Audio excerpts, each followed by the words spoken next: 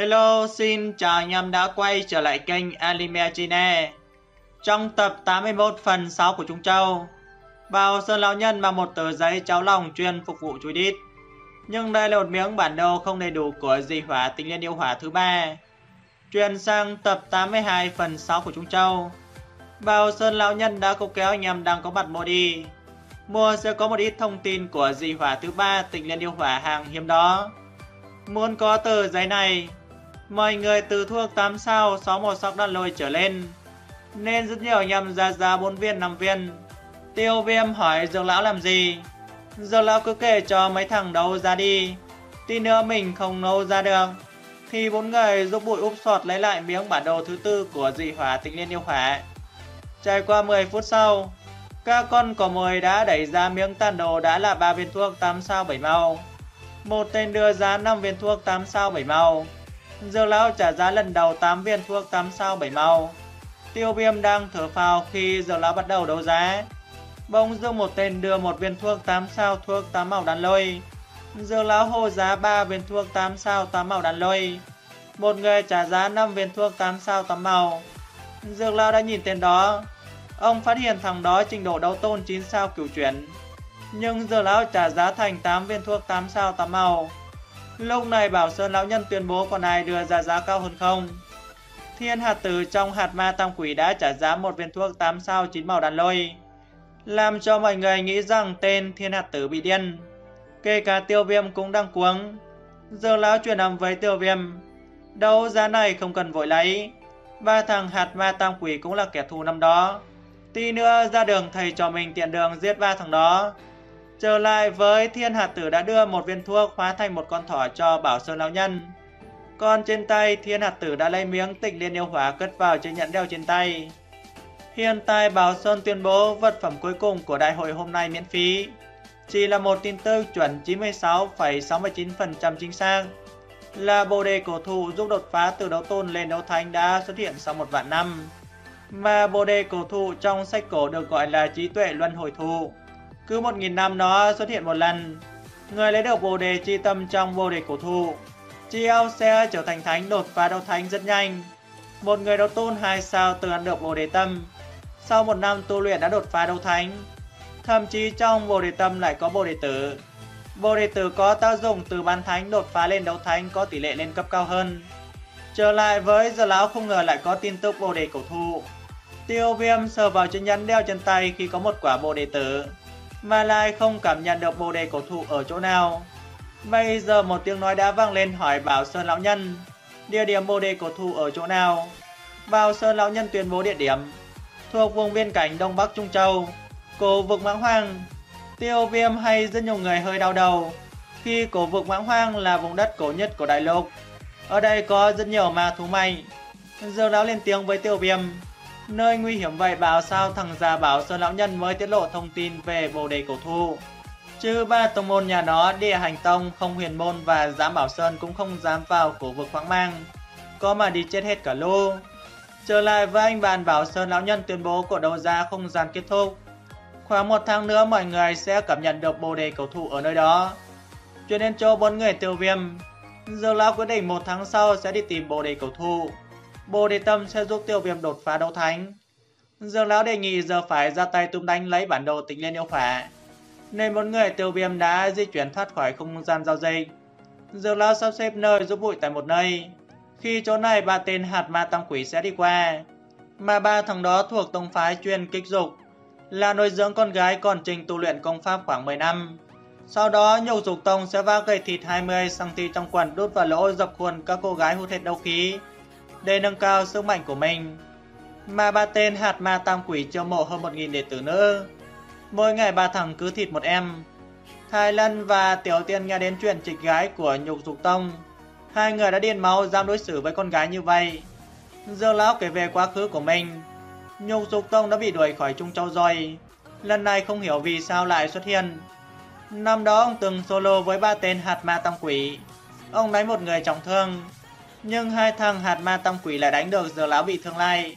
Tên tuổi của ba tên hạt ma tam quỷ nổi tiếng ngang bằng với cụ Tokuda làm chuyện hiếp dâm. Sức mạnh giờ lão đánh giá ba tiền đó như sau. Thiên hạt tử đấu tôn 9 sao 9 chuyển. Địa hạt tử đấu tôn 9 sao 8 chuyển. Nhân hạt tử đấu tôn 9 sao 6 chuyển. Đôi lúc này ba người hạt ma tam quỷ di chuyển đến chỗ ba người dược lão. Ba người hạt ma tam quỷ chào dược chân. Dược chân chào lại hạt ma tam quỷ. Dương lão đề nghị thiên hạt tử làm người tranh chấp miếng bản đồ tịnh liên điêu hỏa. Mang ra đi khỏi bị ăn đập. Thiên hạt tử không ngờ Dương lão có danh tiếng dược tôn giả lại chặn đường ăn cướp. Dương lão nói phét. Người khác ông sẽ không chặn đường. Nhưng gặp ba người thiên hạt tử lại khác.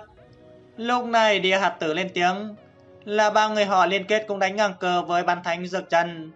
Do đó Dương lão muốn kết thúc mối thù nằm đó luôn. Dược lão đã phi đến đánh một trưởng hình bàn tay lửa hơn 1.000 mét vào ba người thiên hạt tử, nhân hạt tử, địa hạt tử. Ba người hạt ma tam quỷ đã bật đấu khí đánh ba trưởng vào dược lão, làm cho năng lượng phát nổ hai bên nổ nát một ngọn núi gần đó. Ba người hạt ma tam quỷ đã lùi lại vài bước. Thiên hạt tử yêu cầu nhân hạt tử mau đi bắt ba người tiêu viêm tiểu tiên Thái Lân còn sống làm con tin. Hắn cùng với địa hạt tử cầm chân dược chân. Nhân hạt tử ok con dê cho hắn vài phút. Nhân hạt tử đã bay đến chỗ ba người tiêu viêm. Giờ lão định ngăn nhân hạt tử. Hai thằng thiên hạt tử và địa hạt tử đã chặn đầu giờ lão. Trở lại chỗ nhân hạt tử đã chào hai người Thái Lân và tiểu tiên con gái. Lần này hắn sẽ bắt hai người về thịt. Hắn đã liếm môi, thèm môi dưới của Thái Lân và tiểu tiên. Và lao vào đánh tiêu viêm một trường. Tiêu viêm dùng chân dậm xuống đất. Một cột dung nham đỡ một trường của nhân hạt tử thành công. Tiêu viêm thấy dược lão sử được hai tên thiên hạt tử và địa hạt tử.